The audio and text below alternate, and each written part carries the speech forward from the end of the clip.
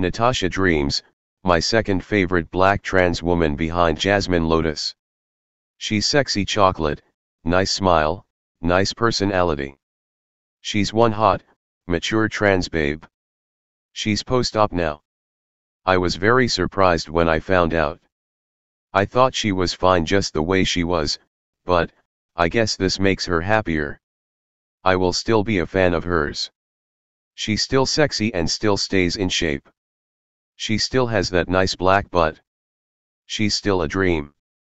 I'm going to give her a rating of 9.5 out of 10. What would you rate her? Let me know in the comments below and don't forget to subscribe.